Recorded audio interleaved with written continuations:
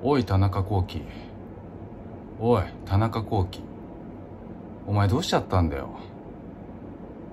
前回も覚醒剤で捕まって反省しますって言ったばっかりだろ。なんでまた持ってたんだよ。お前はカトゥーン時代から人気のある男だった。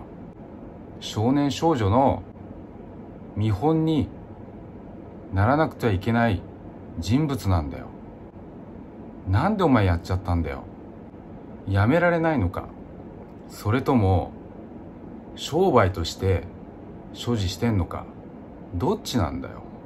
俺はお前のこと嫌いじゃないから応援してる。3度目はないぞ。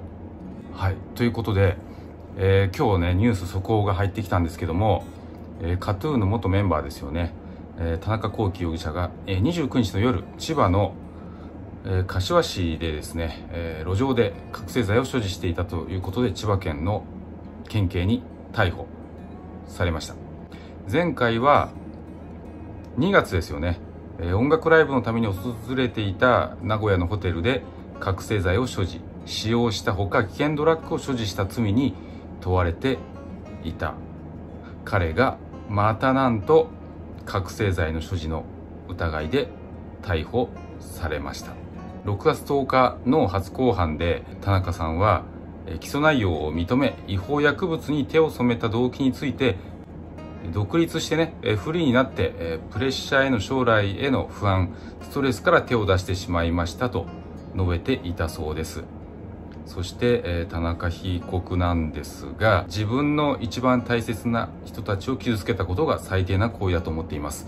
二度とこんなことがないように自分を見つめ直ししっかりと償っていきたいと反省の言葉を口にしたばかりの出来事でした。